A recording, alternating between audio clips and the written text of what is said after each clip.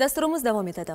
Bilasiz, pandemiya ijtimoiy hayotimizning barcha jabhalariga ta'sir qildi va ko'plab sohalarning tez sur'atlar bilan rivojlanishiga turtki berdi.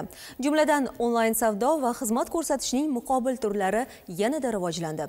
Quvonarli jihati, bu borada yoshlar tashabbus ko'rsatib, o'z g'oyalarini ilgari surishmoqda. Jumladan, 18 yoshli talabaning ayni shu yo'nalishdagi startap loyihasi 100 million so'mlik mukofotga loyiq topildi. Hozir shu haqda.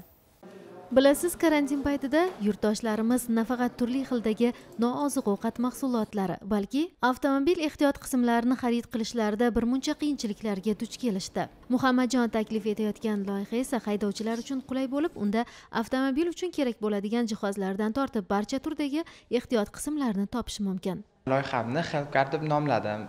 Helpkarni ma'nosi moshinaga yordam degan ma'noni bildiradi. Helpkarda biz onlayn savdo qilamiz. Eltib berish xizmati hozir bizda qirq sakkiz soatdan yetmish ikki soatgacha ko'zlangan.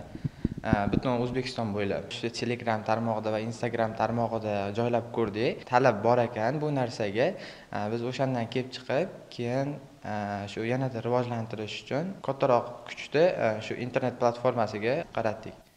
Muhammadjonning aytishicha ayni paytda ushbu loyihaning telegram kanaliga nafaqat o'zbekiston balki markaziy osiyo mamlakatlari xususan qirg'izistondan ham birinchi buyurtmalar qabul qilindi. Bizda hozir o'sha hamma avto ehtiyot qismlarini sotib olishingiz mumkin.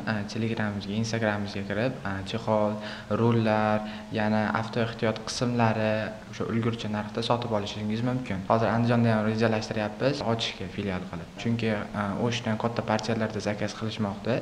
Muhammadjonning ushbu loyihasi innovatsion rivojlanish vazirligi tomonidan o'tkazilgan tanlovning barcha bosqichlaridan muvaffaqiyatli o'tdi va 100 million so'mlik mukofotga loyiq topildi.